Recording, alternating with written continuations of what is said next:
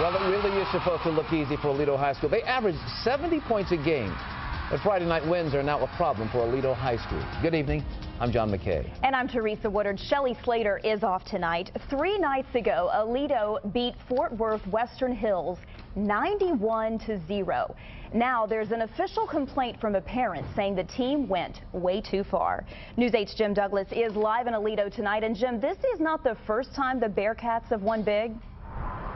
Oh, not at all. They take their football seriously in Aledo, so much so that a Western Hills parent accused them of bullying after a 91 to nothing game. But Aledo's coach says he actually tried to hold down the score.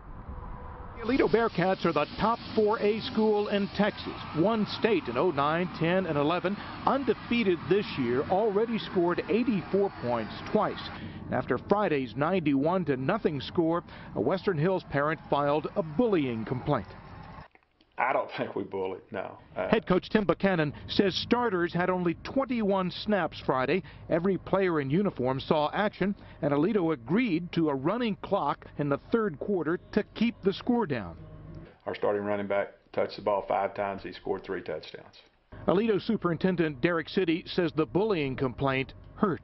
I don't want to make it a fourth Aledo deal at all.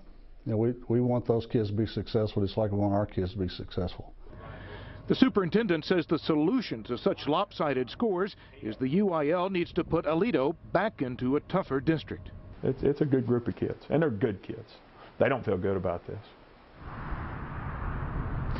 Aledo got moved into a district with much weaker Fort Worth schools a couple years ago, but they're also crushing really good teams like Stephenville.